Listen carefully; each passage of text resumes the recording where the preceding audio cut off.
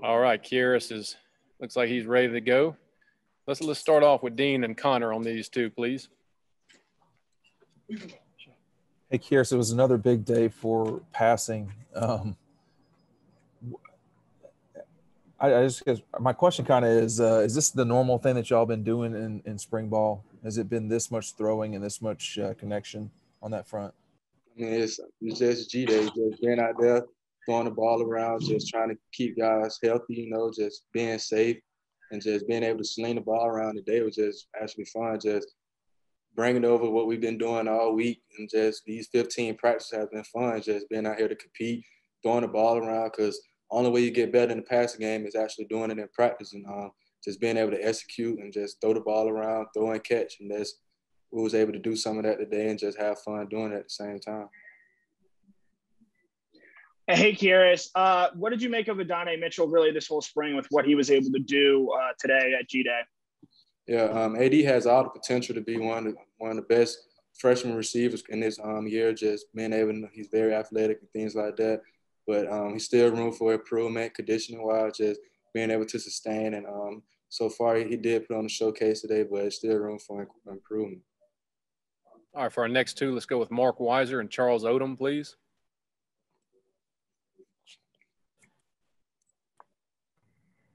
Just want to ask you about the uh, the young DBs that, that you went up against. Kind of what, what, I know you're rooting for them to develop, but you're also wanting to beat them on, on plays. Kind of what, what did you see from some of those guys that you went up against? Uh, they're competitors. Um, they fight. They fight every every drive, every play. They want to get better. They are very intentional about their work. They want to go against the best. They want to just be able to be on the field, and each one of them will fight for their position and just they attack the day like a pro. They want to be, like I said, they want to be the best. And uh, they know what's upstate, they know what we're capable of doing, and so they come out to practice every each and every day and go hard. And um, it's, it's it's a great matchup, especially going against the guys we go with. And um, I don't pretty much see them as young guys, to just guys with a little bit of inexperience and things like that. But as they still they're gonna get better as the season go by, as the, as we get ready to go over to like summer workouts and things like that. So I feel like this spring has really helped them, like confidence wise, just knowing what we what we about, how we practice, and things like that. So just be able to go against some of the best receivers uh, every day is just it's, it's gonna only gonna help them better. Kearis, we saw, uh, of course, uh, touch uh, sacks uh, uh, today, but um, it looked like JT has some good mobility um, running around back there. Is that something you think that may be something we see different this year, one year removed from his injury? I can't really say that it's something different. It's just how the way he plays. He just what he brings to the table as a quarterback. But like I said, like we still have to get better uh, with the guys around him. Starting with the O line, just being able to hold up in front and just being able to, to protect the quarterback. Next up, let's go with Anthony Dasher and Davis Baker, please. Hey, Kearis, good to see you. What can you uh, tell me about AD? I mean, uh, you know, coach and uh, JT both were saying, "Hey, this guy's been doing this all spring, but you work with him all this whole time. What is what is he bringing? How how surprised you by what he's done? Like I say, um, he's very athletic for um what he brings to the table. He brings a lot to the table. Just being able to things that he can do. Just being just athlete, just just natural t- talent. But once he gets to learn the system, how to um how to practice and how to be able to sustain rep, reps after reps, and no telling how good he can be. But right now, he's still working, still progressing, and uh, just excited to see what type of receiver he grows into. Kearis, I just want to know what your goals were, you know, as a veteran moving into the summer and eventually into the fall. Um, some of my uh, main goals is just be a leader, be there for my teammates. Um, it's a team sport. Um, every team needs leaders, so I'm big on leadership this year.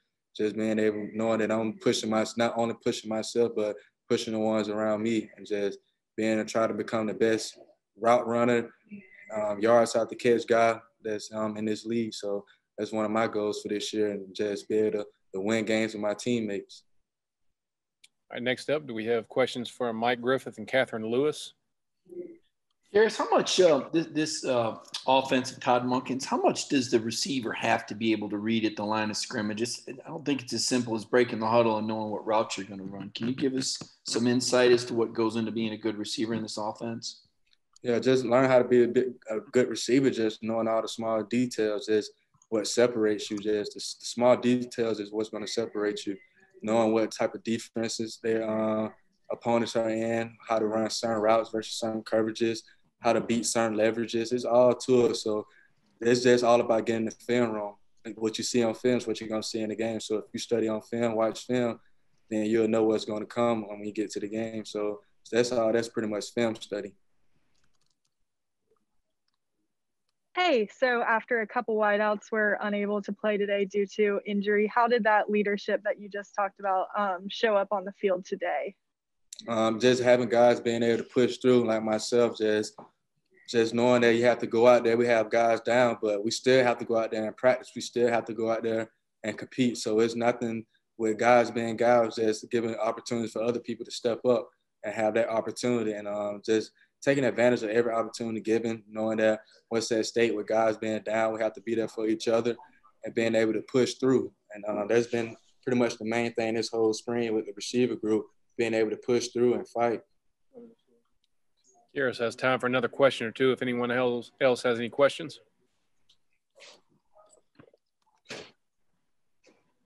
Kearis, I'll ask a, a, question if you can hear me. Uh, I want to just ask about Brock Vandagriff, what you've seen uh, of him in practice, um, you know, as he came in from high school, uh, just, you know, down the road. Um, Brock is a very, he was a competitor. Um, he wants to learn. He wants to, he's very engaged, very intentional about what's going on. Just just a young guy trying to get better. Like just want to get better at what he does, just knowing what how we run the offense, how to practice, looking out for certain reads, just knowing what to do at the quarterback position so he can be successful. And um, he's very intentional about wanting to get better. Time for one more question if anybody has one. Yeah, Kearis, I think you've done some some leadership uh, classes off the field. I think I saw where you've done that. Can you talk about what that meant uh, that, that Coach Smart, I guess, picked you for that role. And what did you gain from some of those leadership uh, seminars you were at? Yeah, just being able to be on the uh, part of SEC Leadership Council, being on the SAC Leadership, um, Student Leadership Council here at Georgia has really molded me to something that Always had a passion for. I always had a passion for just wanting the best out of everybody, just knowing that what I have a passion for, I feel like everybody else should have a passion for.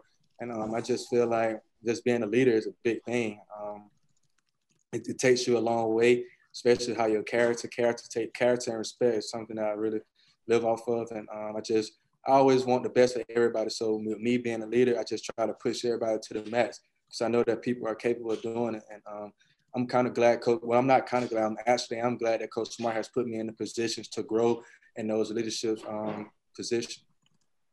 Okay, Kearis, thank you. Thanks for everybody else for tuning in. Appreciate it.